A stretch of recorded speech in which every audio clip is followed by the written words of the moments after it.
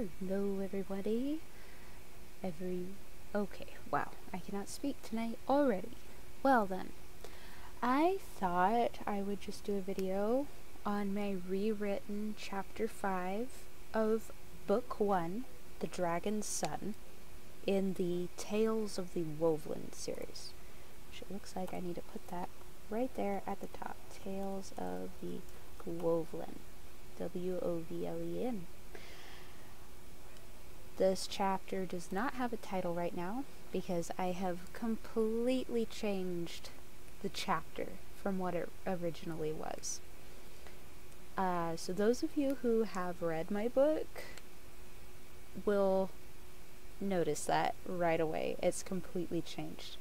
The reason I did that is the original chapter came from a completely random person's point of view it didn't jar the reader at all. No one has ever complained about it. But whenever I went through it, I realized you only meet this person one time, basically, and you never ever meet him again. And so there was no reason to have it from his point of view. It would be make much more sense to have it from someone else's point of view that is a regular character in the book. So I completely changed it. And I have to say, I think it is so much better now. You get it, it fleshed out a lot more about some of these characters.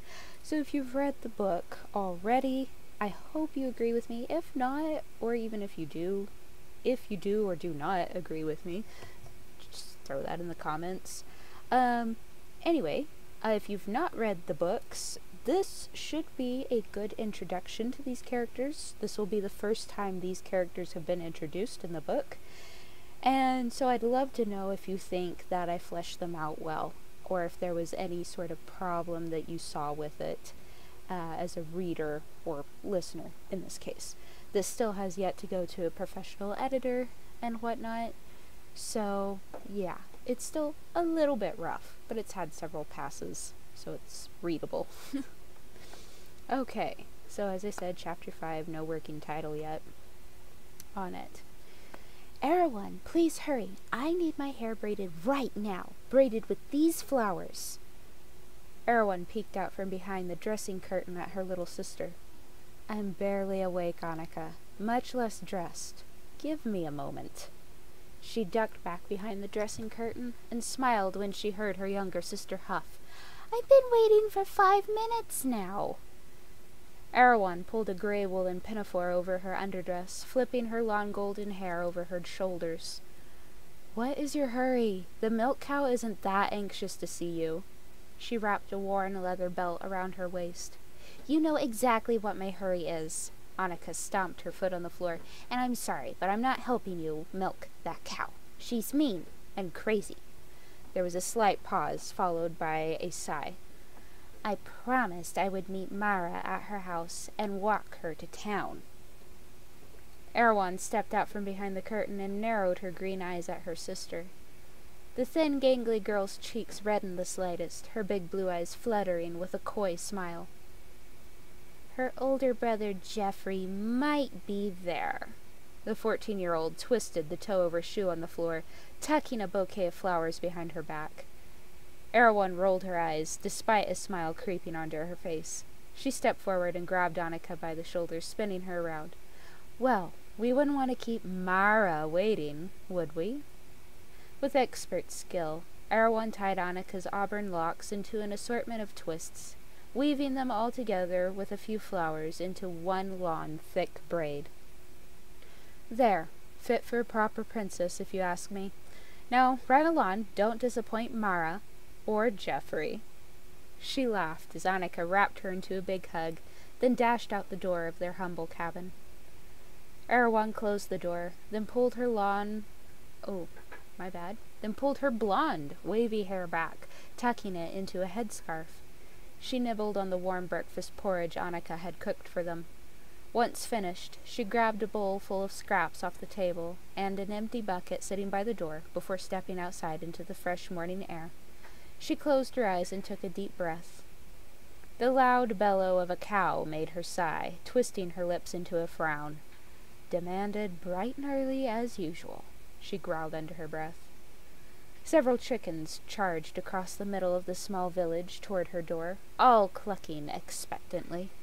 She turned the bowl of scraps upside down, dumping an assortment of food crumbs on the ground for the chickens to eat and scratch. She set the bowl down by the door, then sauntered toward a large, large community barn at the edge of town. Erewhon glanced around at the handful of houses that made up the tiny village, waving at a few other ladies as they too left their homes to do morning chores. Her walking pace slowed when she heard an unfamiliar horse whinny. She glanced over her shoulder at the road running through the middle of town, suddenly going wide eyed. She looked again, her mouth hanging open.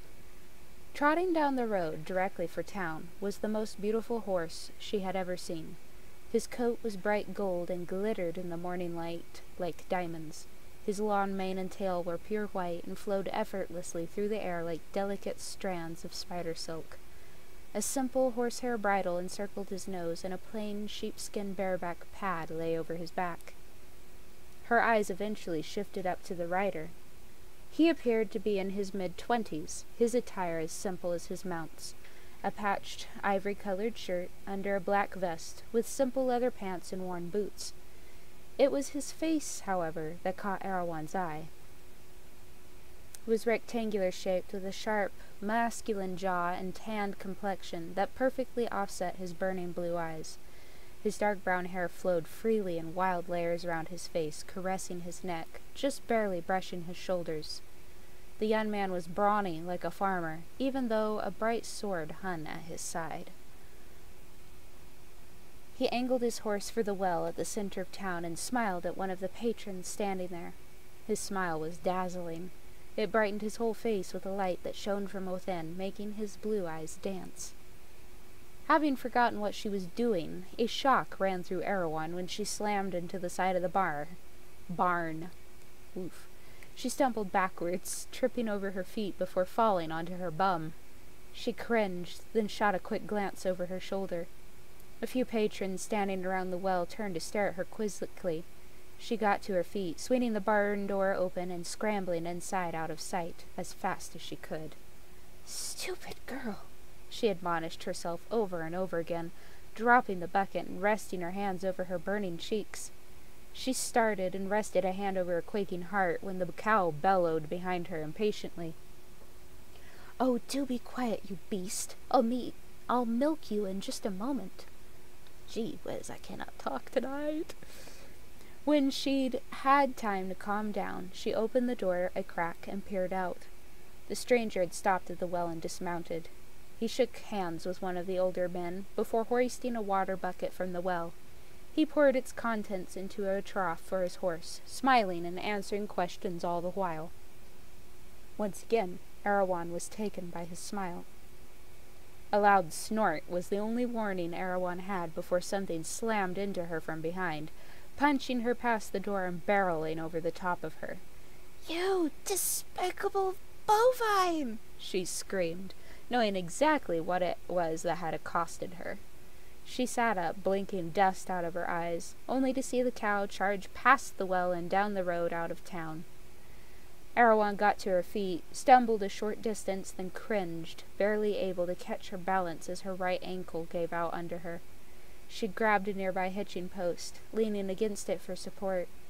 She lifted the hem of her skirt just the slightest, looking down at her throbbing ankle. She tested her weight on it, sucking in a breath as she did. Thankfully, she could move it and put weight on it. It was just very painful. Stay there. I'll fetch her. Erewhon snapped her eyes up and watched as the stranger flipped onto the back of his horse, galloping down the road after the cow. His horse pulled up alongside the bawling animal in no time. The stranger leaned sideways, snatching the cow's rope, then sat up and leaned back, bringing them all to a gradual halt. He turned a moment to turn. He took a moment. Oh my goodness. He took a moment to turn several circles with the animals, calming the cow down before turning back to turning toward town and leading it back. That sentence may need reworked. Oh man, sorry guys. Erewhon watched, dumbfounded, as the young stranger led the cow back to her. As he approached, they locked eyes for a moment. Erewhon's heart jumped in her chest. She shifted her eyes down, suddenly aware that her dress was filthy and her headscarf disheveled. She glanced back up at the stranger, and to her surprise he smiled at her, a genuine kind smile that brightened his whole face. A smile crawled across her lips as her heart fluttered. He drew his horse to a halt before her, and the two of them stared at each other for a moment. Um, he looked to the side at the cow. Shall I put the despicable beast in the barn for you? He looked back at Erewhon, his smile turning into a smirk, those blue eyes dancing with amusement.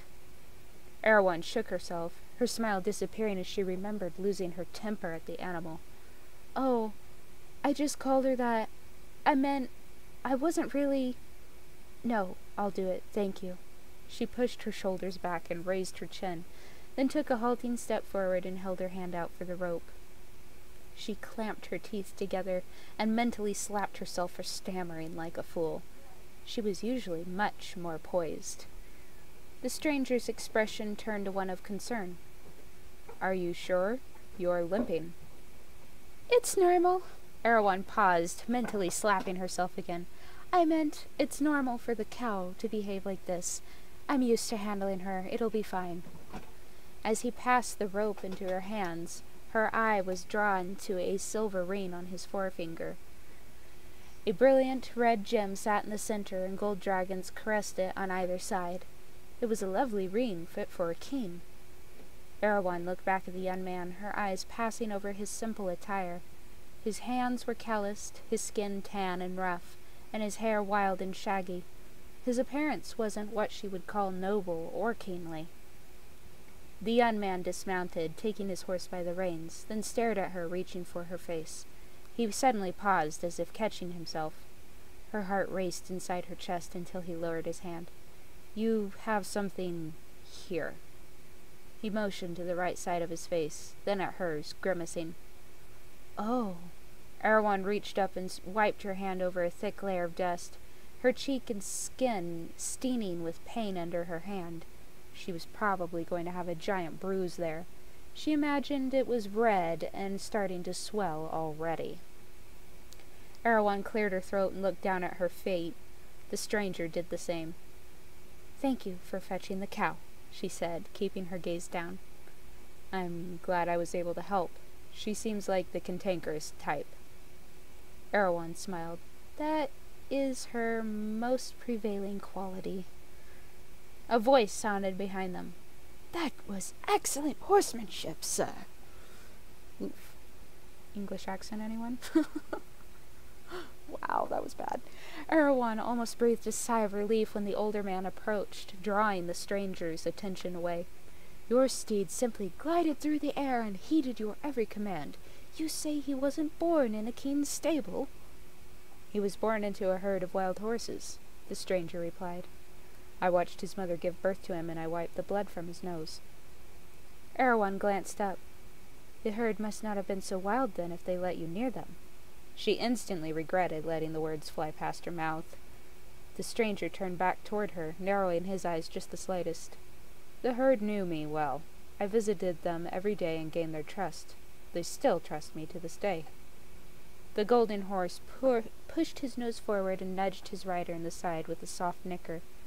The stranger smiled and wrapped his arm over the horse's neck, hugging him. Help!